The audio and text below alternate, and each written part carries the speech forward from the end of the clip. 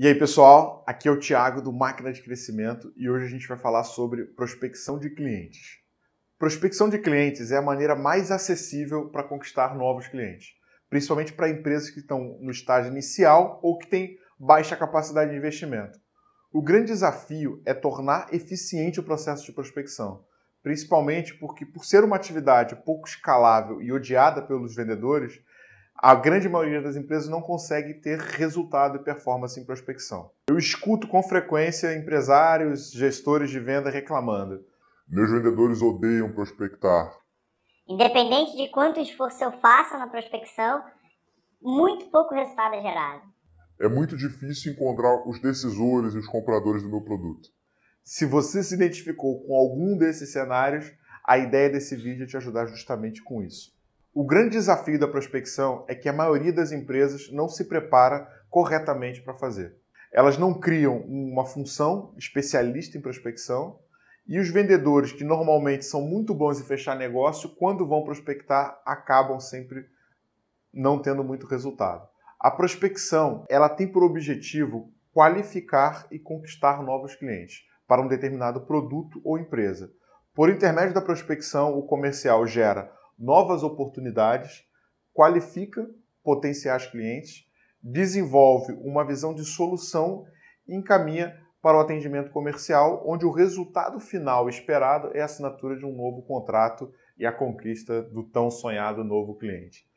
A prospecção ela é importante de muitas maneiras, pois isso ajuda a sua empresa a gerar prospects altamente qualificados em um segmento alvo ou crítico que outros canais de marketing muitas vezes não conseguem influenciar. Ela te ajuda a reduzir o teu custo de aquisição de clientes.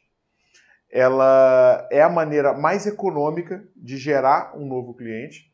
Te ajuda a definir melhor seus segmentos de cliente ideal e seus critérios de qualificação.